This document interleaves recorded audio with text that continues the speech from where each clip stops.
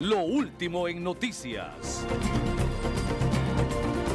Recuerda que ayer le mostrábamos a ustedes la muerte de este ganadero en Santa Bárbara, particularmente en un municipio en Santa Bárbara, eh, en Quimistán, Santa Bárbara, en donde un miembro de la Policía Nacional eh, dio muerte, eh, según el Ministerio Público y los vecinos del lugar, a un ganadero. Pues le cuento que lo último en noticias es que la Fiscalía Especial de Delitos contra la Vida tras culminar las diligencias investigativas sobre el deceso del ganadero y empresario de Pinalejo, Quimistán, Santa Bárbara,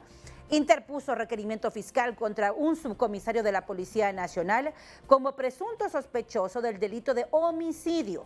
La acusación fue interpuesta contra el subcomisario de la Policía Nacional, Betuel Nacor Alvarado Guevara, como supuesto responsable del delito de homicidio en perjuicio de Julio César Rodríguez Matute, en un hecho que ocurrió el pasado domingo 19 de noviembre a eso de las 11.30 de la mañana.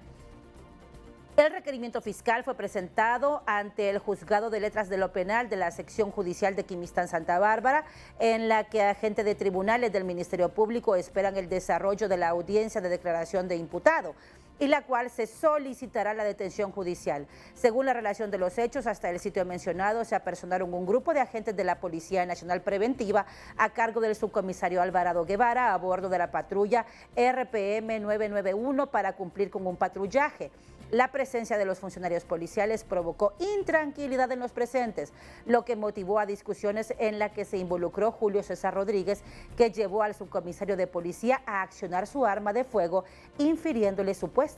a la víctima un tiro en el cráneo.